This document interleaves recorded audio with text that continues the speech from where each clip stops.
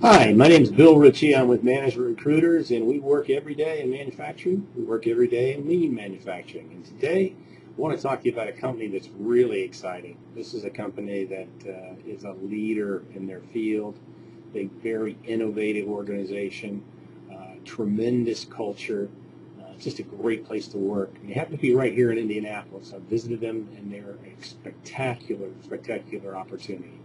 The opportunity we're working on today is for a commodity specialist, somebody who's going to be very strategic in their their, their understanding of commodities. And the commodities we're talking about are uh, precision machining components as a primary.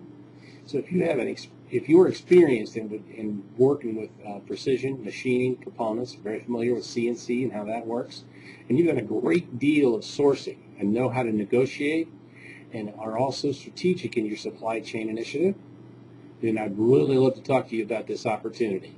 Uh, this is a great company with exceptional benefits, both uh, traditional and non-traditional, and it's also uh, a very good compensation package in that uh, be uh, 80 to 90,000 plus a bonus.